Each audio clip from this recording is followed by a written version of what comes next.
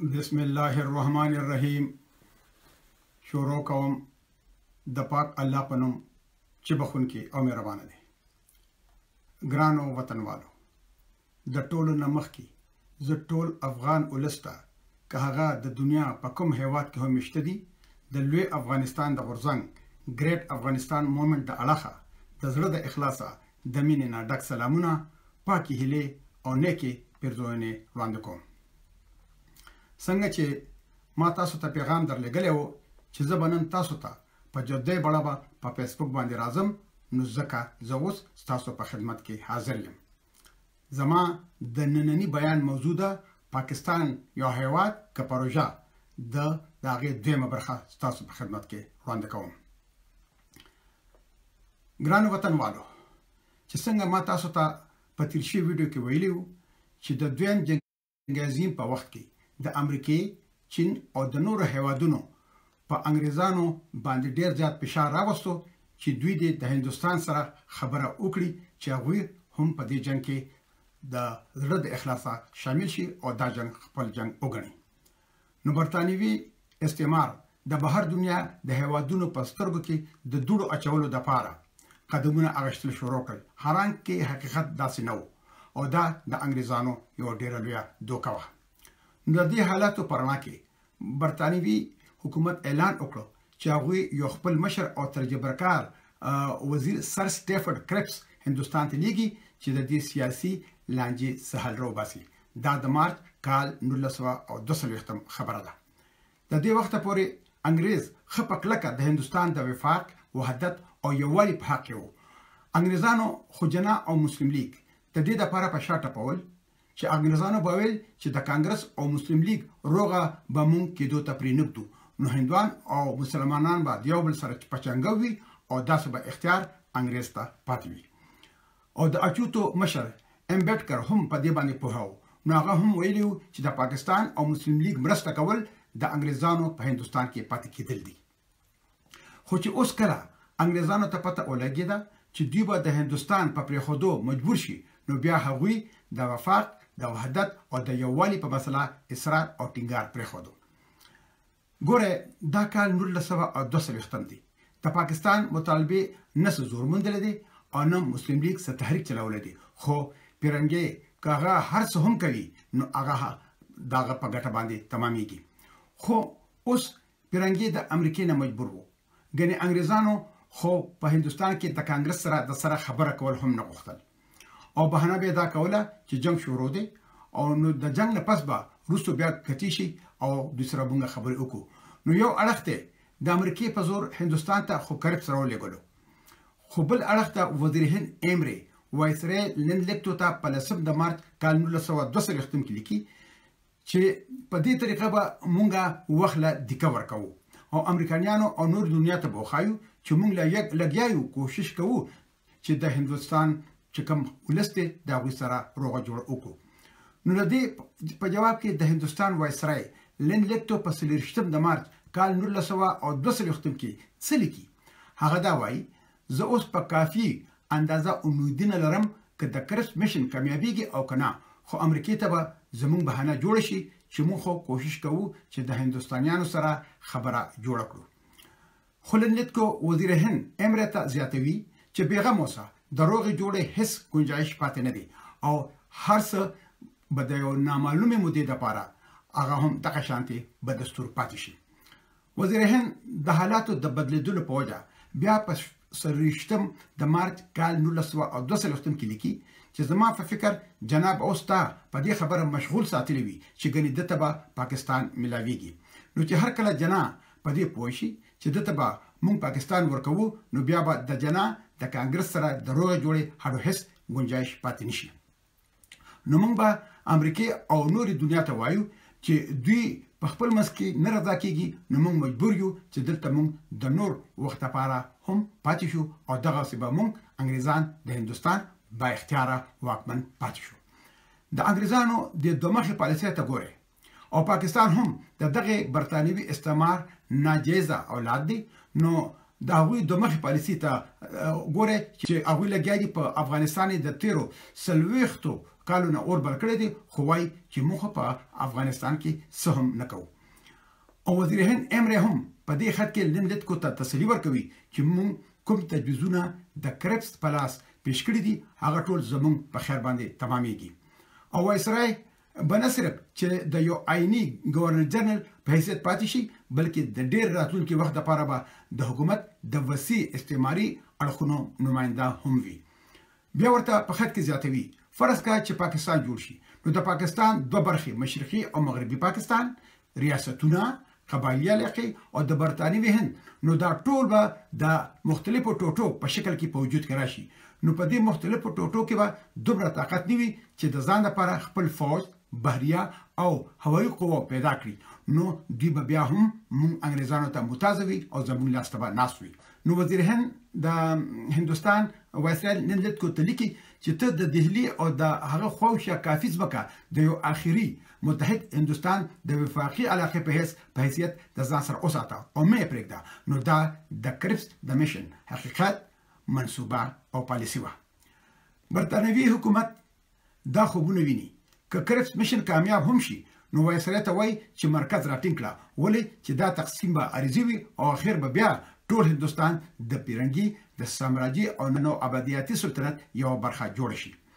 بیا وزیر هند ته وایسرای لندلتکو په څوارلسم د اپریل کال نولس سوه او دوه څلوېښتم کې لیکي چې د کرپس مشن په دوران کې ما خپله رابطه باقاعده د جنا سره ساتلې ده. ما په تلوار سره بغیر د څه له تاخیره، مخکې له دې چې کرپس بېرته لاړ شي، فیروز خان نون چې زما او د جنا په منځ کې اوړل راوړل کوي، په ذریعه جنا ته د هغې نتیجې نه خبر کړو چې ما مخکې تاته د تار په ذریعه رپورټ کړې وه. نتیجه خو ظاهره وه چې پیرنګې د تقسیم اصول تسلیم کړل او کانګرس تقسیم نه مني عجیبه حالت دی تحریک کانګرس چلوي د حکومت په خلاف قرباني کانګرس ورکوي جرخانو له کانګرس دي ګوله کانګرس خوري وزارتونه هغوی پرېږدي دا ټول قرباني کانګرس ورکوي او مطالبه دا مسلم لیګ منلی شي چې نه تحریک شو، نه د قربانۍ جذبه، نه په انتخاباتو کې کامیابي او نه څه سیاسي قوت. او کریپس چې په کوم مقصد پیرنګي رالیږلی و، د هغې لکه چې خاطرخواه نتیجه پوره شوې وه، ځکه وایسرای هنلتکو په وزیرهند، ایمري په شپږم د جولای کال نولس سوه دوه څلوېښتم کې زیری کوي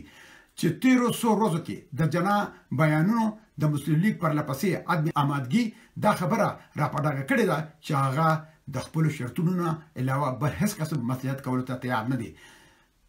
جنا سره په دې کې زما مکمله مرسته ده او زه داغه په شا باندې ولاړ یم او د کانګرس سره د روغې جوړې هیڅ امکان نشته چې دا زموږ لپاره ډیره د خوشحالۍ او ګټوره خبره ده انګريز خپل ذاتی غرض داسې وډون کړی دی چې د خپل ګټو په خاطر د هغه جنا او د مسلم لیگ مرسته کوي چې په تیر شو انتخاباتو کې په مسلمانانو کې 3% وټونه اغشتي وو ول حقیقت دا چې د پیرنګي نه په مسلمان سکارو او نه په هندو بلکې هغه خپل غرض په مخ راغښتی و او هر هغه څه کولو ته تیار و چې هغه پکې خپل او د خپل تاج و تخت خیر لیدلو. نو په دې خو ړوند هم پوهېدو چې د کانګرس او د مسلم لیګ روغه نه کېږي، نو اقتدار به د پیرنګي سره وي، نو پیرنګي به مسلم لیګ په شا ټپولو چې روغه جوړه ونه شي. خو دلته اهمه خبره دا وه چې د کانګرس او د مسلم لیګ په جنګ کې خو اقتدار مسلم لیګ ته نه ملاوېدو هغه به پیرنګي ته ملاوېدو او دا مسلم لیګ غوښتل چې اقتدار دې هم پیرنګي سره وي. کرپس چې کوم تجویزونه د ځان سره د برتانیې نه راوړي وو نو هغه پنځه وو نو زه به په نورو په تفصیل سره نه ځم خو په درېیم نمبر تجویز کې پیرنګي دا خبره تسلیم کړله چې کومې صوبې نه غواړي نو هغوی به د هندوستان په یونین کې نه شاملېږي او که راغونډ شي نو د ځان لپاره به د یو جدا مملکت جوړولو اختیار ولري او حکومت برتانیه به هغه تسلیم کړي خو لنډه او اوږده ده چې د هندوستان تقسیم له یو آئیني حیثیت پیدا کړو او دغه سي د مسلم لیګ د کال 1940 د پاکستان تجویز له یو قانوني شکل ورکړو حالانکه پیرنګي هغه په دې باندې پوه و چې مسلم لیګ په ولس کې هیڅ قسمه حیثیت نه لري چې چرته د وطن او د ولس د خیر ښېګړې لپاره د جدوجهد وخت وي نو د مسلم لیګ درک نه لګي او کله چې کانګرس او د هغوی اتحادیان د هغوی نر او ښځې د وطن د ازادۍ لپاره د سیول نافرمانۍ د تحریک په سلسله کې د پېرنګي ډنډې او ګولې خوري او د جېل په تورو تمبو دننه ورسره د ځناورو په شان سلوک کېږي، نو مسلم ليګ به يې تماشه کوله او د انګرېزانو سره به په شرابو او کبابو کې بوخت وو، خو چې کله به د دغه تحريک او جدوجهد په نتيجه کې د ګټلو اختياراتو وخت راغی، نو مسلم ليګ به د ټولو نه وړاندې بوجۍ په اوږه ولاړ و او دا چغې سورې به يې وښلې چې ماله خپله برخه د هر چا نه مخکې راکړئ او دا نه چې ګنې يوازې د خپلې حصې دعوه به يې کوله، بلکې یو قدم مخکې هم به هم تلو او ویل به که زما حصه پکې نه وي نو بیا به بل چاته هم دغه حصه نه ملاویږي او پیرنګي د ځان نه ګربه مسکین جوړ کړی وو اواز به کوو چې تاسو سره خپل په خپل کور کې جوړ شئ چې زه اختیار درکړم او که تاسو پرې نه رضا کېږئ نو زه اختیار چاته پرېږدم په حقیقت کې انګریزانو په هندوستان کې د خپلې قبضې د امنیت د اوږدولو سره سره د مسلمانانو د یو داسې مملکت د بنیاد کې خودلو لپاره لار هم هغواروله چې بیا هغه هواد سبا پیرنګي او یا د هغه ملګری د خپل بین المللي پالیسي د مخکې بوتلو لپاره استعمالول شي او مسلم لیګ د دې کار د سرته رسولو لپاره یو ډیره ښه او ګټوره مهره وه زه دلته یوه واقعه بیانول غواړم کله چې سر سټیفورډ کرپس هندستان ته راتلو نو هغه د وایسرای هند په ذریعہ سیاسي مشرانو ته دعوتنامې جاری کړې وي چې په هغه کې کانګرس مسلم لیگ د ریاستونو والیان او هند محاسبه شامل وو د دې نه علاوه د سند وزیر اعلی الابش ته هم بلنه ورکړې شوې وه په دغه ورځ کې د الله بخش د صدارت د لاندې د قامپرست مسلمانانو یو لوی او درنه غونډه په دلی کې شوې و چې په هغه کې د هندستان د مختلفو صوبونو سور لسوا نمائندګان راغلي وو چې دوی د هندستان د قامپرست مسلمانانو نمائندګي کوله او مسلمانانو د هندستان په سیاست کې د ځان لپاره یو اهم مقام پیدا کړو الله بخش د نورو کسانو په شان د وایسرای په بلنه راغلی و نو انګریزانو خو په بهر دنیا ته همیشه دا خبره کوله چې په هندوستان کې د مسلمانانو نمایندګي صرف مسلم لیګ کوي نو بیا کرپس د الله بخش سره د ملاوېدو نه انکار وکړو نو د دې نه دا خبره څرګنده وه چې پیرنګي د هندوستان په مسلمانانو دا خبره ښه په ټینګه څرګندوله چې هغه د مسلم لیګ نه علاوه بل چاله د مسلمانانو د طرف نه د خبرو کولو اجازت نه ورکوي او نه هغوی د بل چا حیثیت تسلیمولو ته تیار دي. بل اړخ ته کانګرس پوه وو چې پیرنګي صرف د خپل سیاسي غرض لپاره د مسلم لیګ سرپرستي کوي او یوازې کانګرس نه بلکې هر څوک په دې پوه وو چې د لاهور د قرارداد او د کرپس د مشن صرف یو قدر مشترک وو چې هندستان به دوه ټوټې کېږي برحال انګريزان د کانګرس یوې خبرې منلو ته تیار نه وو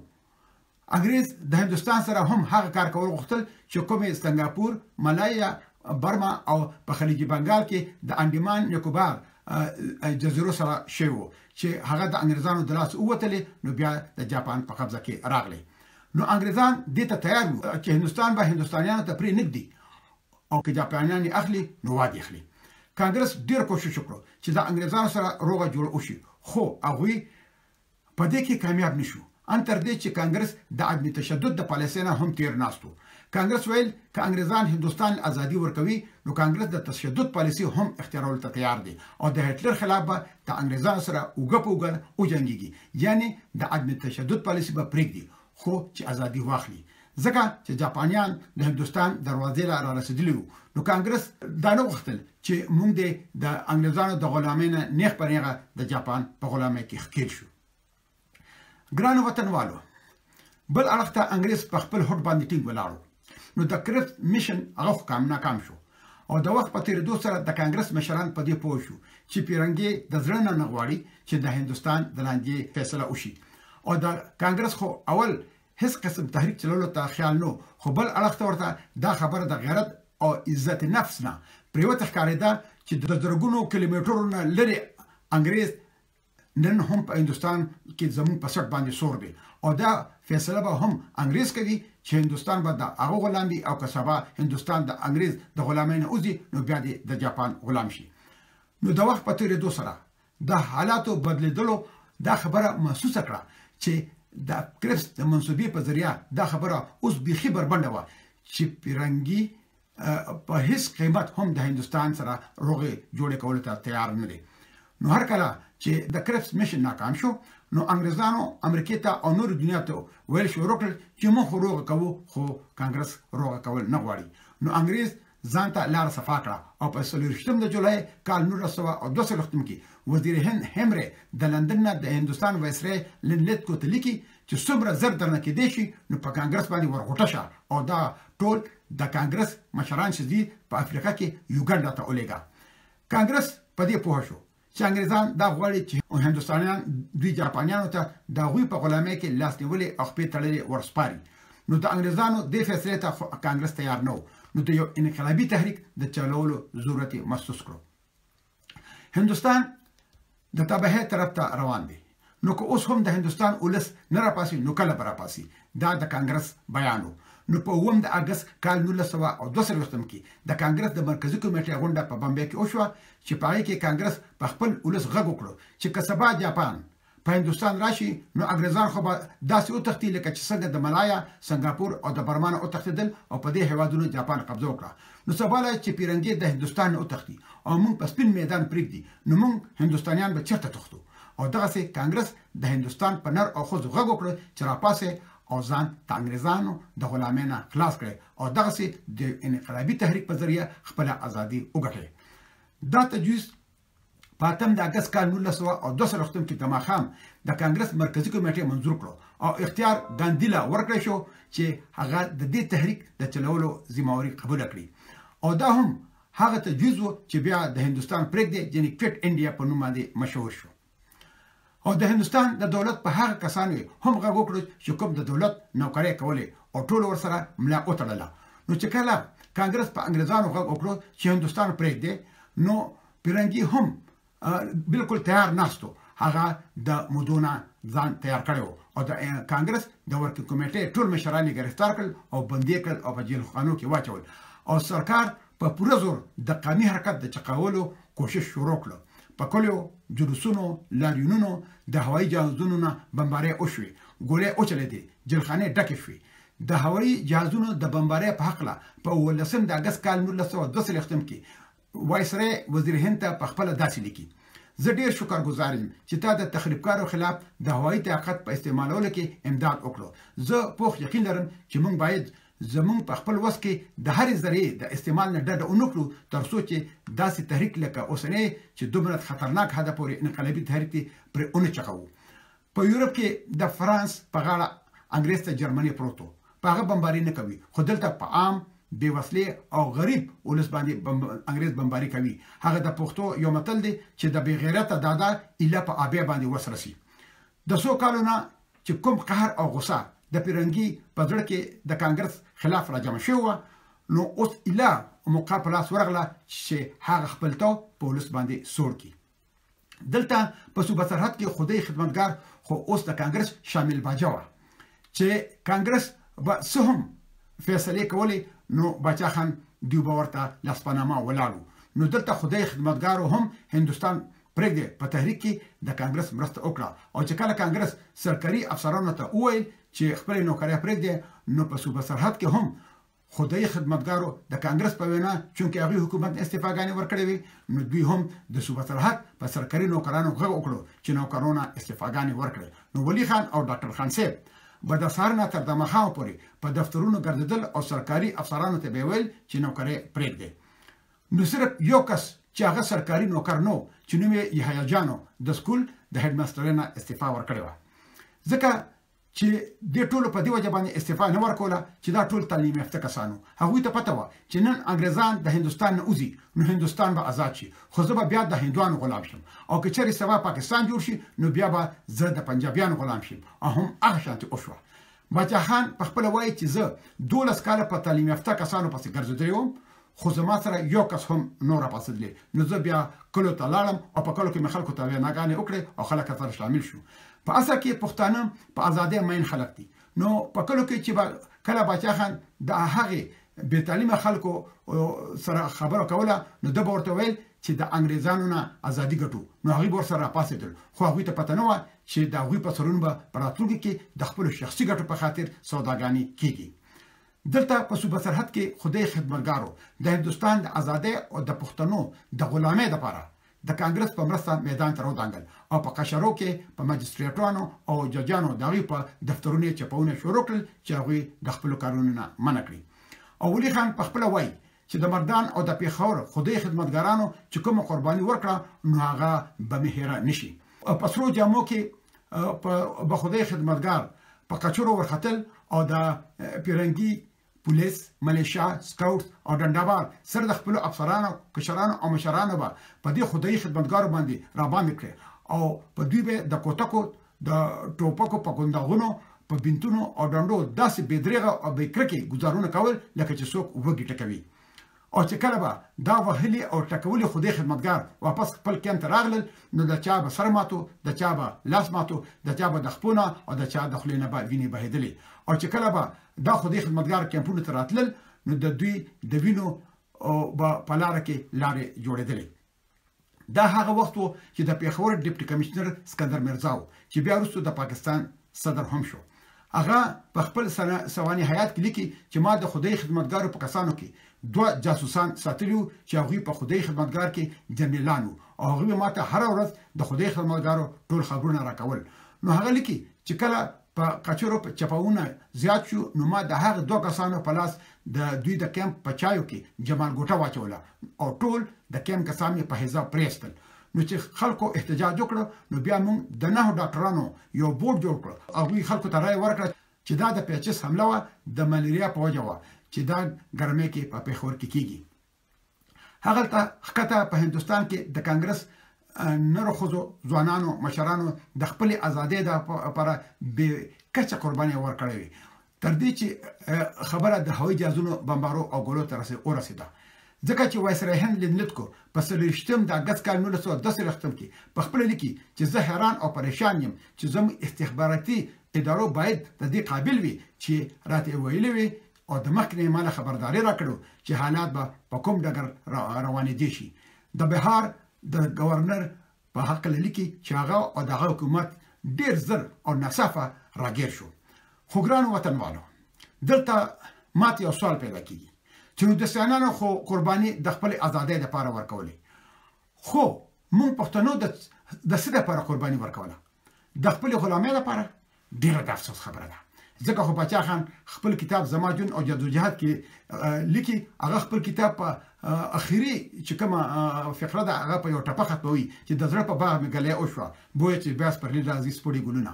هر هغه تحریک او یا بنده چې کوم سلاسته راوړنه اونکړي نو هغه تحریک او هغه بنده ناکام تحریک او ناکام بنده ګڼل شي دلته پیرنګې د کانګرس دې قامي تحریک ډیر وارخطا کړو نو اوس هغوی لاس خپې وخي چې د کانګرس مقابلې ته نور ګروپونه د مسلم لیګ په شان په شا وټپوي نو مسلم لیګ خو د انګرس په جولې کې پروت دوی په هندوانو کې د اچوتو په نام د امبیټکر په ذریعه هم کافي کار کړی وو نو اوس یې سکانو ته مخه کړه وزیر هند ایمري د هندوستان او اسرائیل نن لید کوته لیکي چې ته یو ذمہ وار افسر ولګوه چې هغه د دې خبرې تحقیق وکړي چې د سکانو خپل ریاست جوړېدې شي او کنه لکه څنګه چې مونږ مسلم لیګ له د پاکستان خوګه کې په خله کې ورکړې دي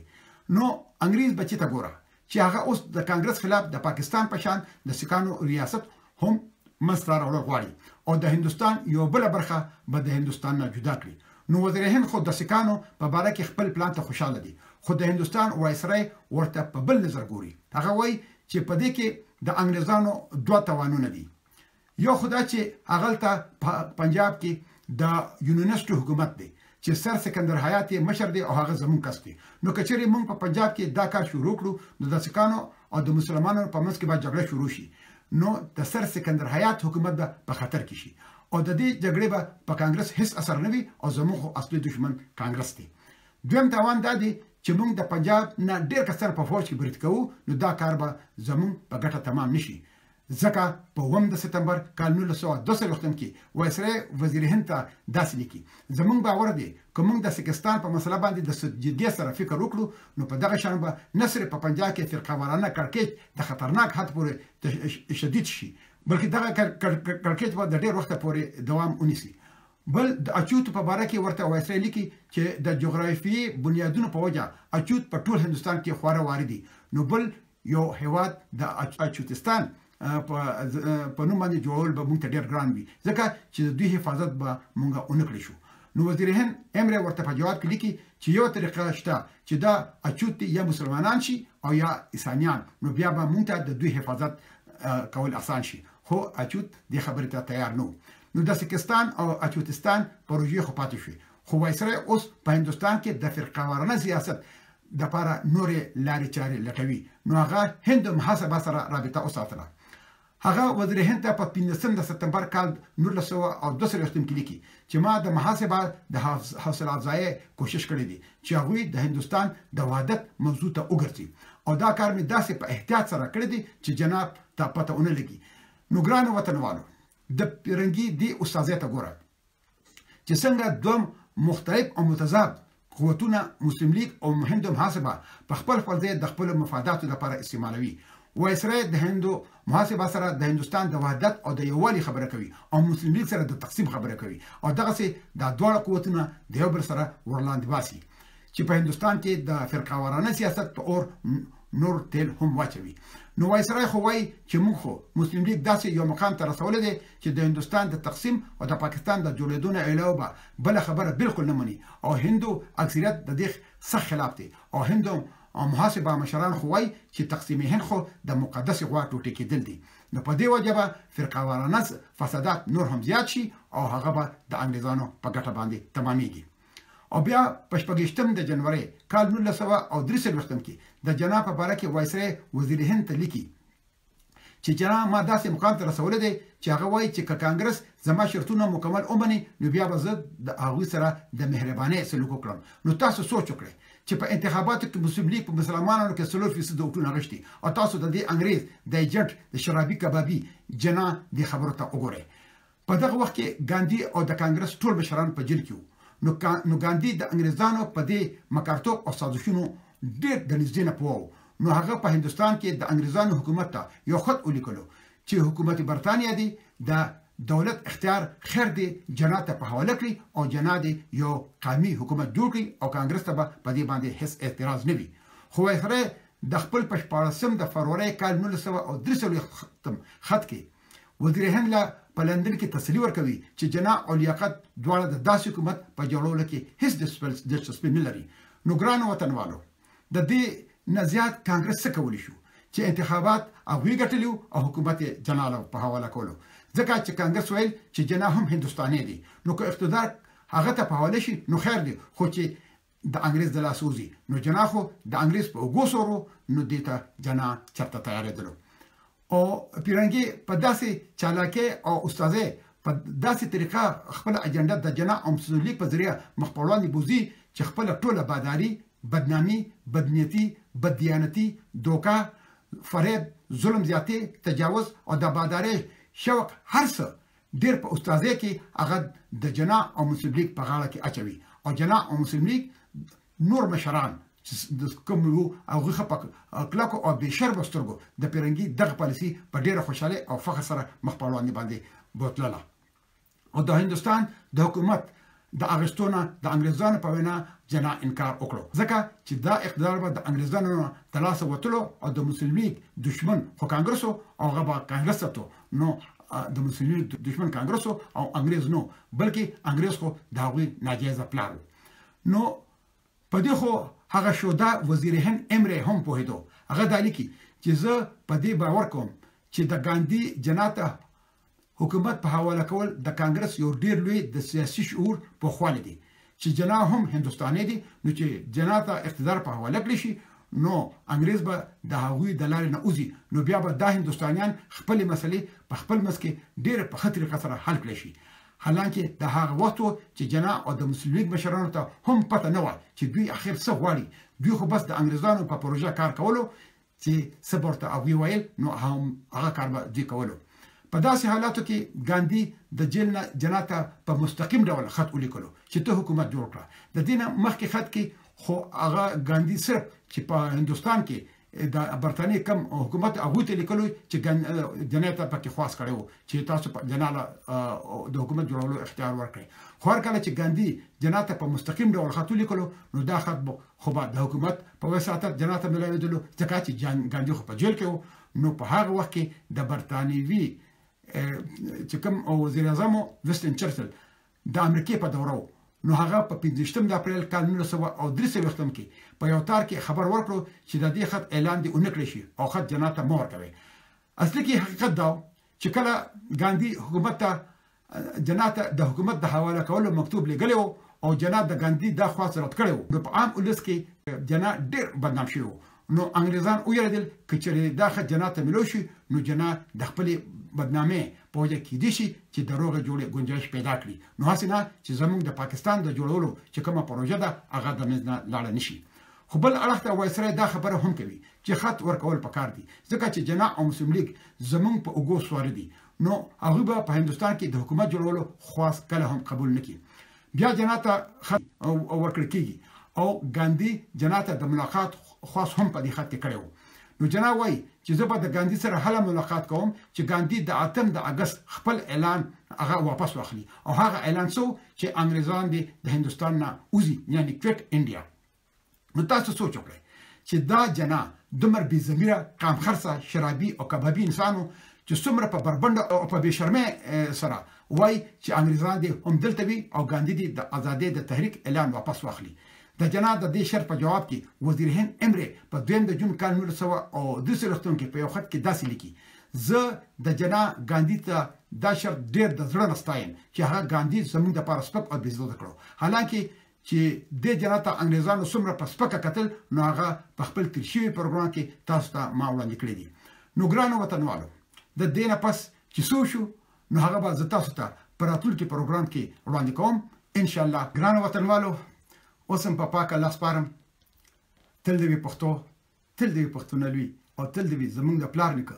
خوږ وطن د اباسین نه تر دمن پورې لوی افغانستان